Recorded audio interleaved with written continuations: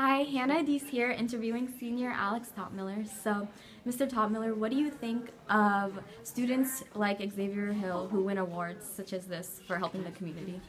I think they um, serve as role models to the community and they can inspire other people to uh, work hard and involve themselves in community service activities. And um, I think awards like uh, those that Xavier won sort of um, serve give like a purpose to people to work harder and get more involved.